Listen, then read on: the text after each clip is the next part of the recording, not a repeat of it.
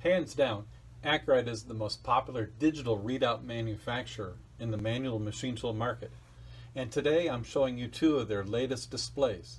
The DRO 100 series for basic operations of position feedback, as well as the new full-featured 203 series. Both offer a crisp 7-inch color TFT flat panel screen mounted on a die-cast frame. This video will focus primarily on the basic DRO 100 series, showing you its features, and it can be ordered as a 1, 2, or 3 axis readout. If you're looking for an economical display for simple measurements and an easy set reset button, then this unit may be for you. The 100 series offers feed rate mode, inch millimeter, absolute incremental, help, reset set button, the day and night mode feature, as well as my favorite, the dynamic zoom.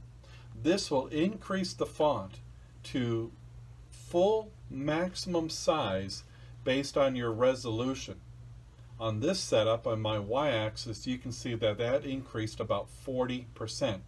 And if I stop moving y-axis it will go back to the standard font size. It's the same thing with the x-axis. When I travel x it too will increase but my setup here is quite unique. I have two Heidenhain linear scales plugging into this Acu-Rite readout.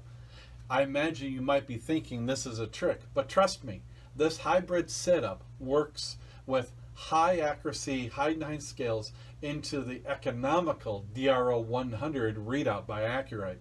This technology breakthrough is due to the new inline signal adapter, the Meridian signal adapter. This was just released, giving us many more options to help our customer.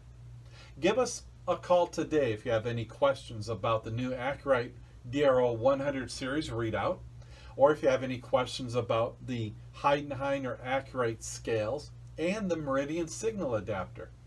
We're able to help you with technical support as well as create quotes or replacement options as well as complete new digital readout packages for your mill, lathe, or grinder. We will look forward to helping you when precision counts. Call us at 909 614 4521 or visit us at atechauthority.com.